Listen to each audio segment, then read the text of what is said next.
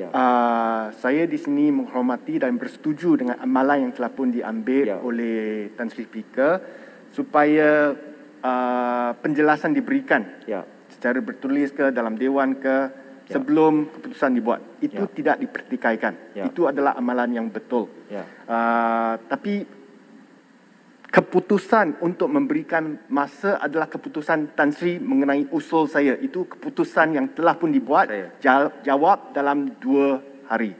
Saya. Dan kita faham kalau beliau masuk hospital tak dapat jawab. Ya. Ataupun ada uh, dia dia mungkin seorang calon di Johor tak dapat jawab.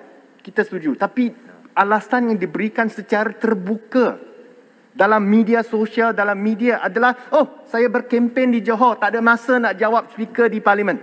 Ya. Ini satu perkara yang menghina parlimen, menghina Tan Sri Speaker. Itu Itu itu mekar, Tan Sri Dipertua, I think that is below the belt. It's not below the belt. What the reply from Tan Sri the, the, yang berhormat pekan tu below the belt. Masa tak menghormati masa Tan yang berhormat Speaker. pekan bahas Ah, Daman apa ni Sarah ada dalam dewan. Johor lebih penting. No, masa bahas dewan. Were you there? Were you here then masa pekan bahas? No, I was- masa pekan bahas you ada dalam dewan.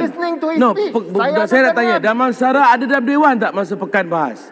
Tapi cara you olah as if you were inside the dewan masa bahas. Saya ada. Ah, okay. Saya saya ada. tanya tu Sabar, sabar. Sabar, sabar.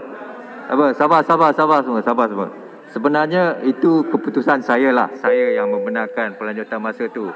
So, uh, Ah, tu Tan Sri yang dipertua Saya- as saya- if Damansara were inside the dewan. Tan Sri Speaker, saya Saya hadir. ada dalam Saya dewan. mendengar. Ya. Baling, saya ada dalam dewan. Saya ada. Saya tak, mendengar. saya tanya Damansara. Damansara yang sedang membahas sekarang. Saya tak tanya orang lain. Jadi Damansara orang pun okey, okey.